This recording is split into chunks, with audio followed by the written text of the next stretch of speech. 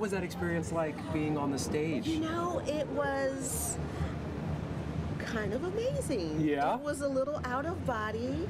Um, I did look at the audience a little bit more, you know, because I know that when they're looking at me, they're actually seeing me, yes, but they're also thinking about their teacher that influenced them. I know, and yeah. so I wanted to just sort of share from that perspective. When I was talking to you earlier on the carpet, we talked about you rehearsing your speech. Do you feel like you nailed it? Do you feel like, would you give yourself notes? What would be your own teacher for a second?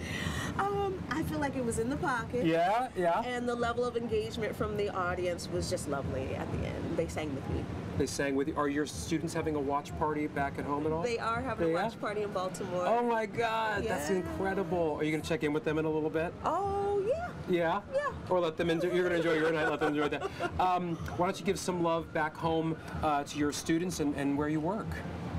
Hello, everybody in Baltimore. Um, there is such a beautiful theater happening in Baltimore, and I know you know that. And I'm so proud to represent the Baltimore art scene and the theater scene um, here in New York at the Tonys. Uh, yeah, and I'm really proud of all of you and the work that you're doing in our city, and so grateful to be here again.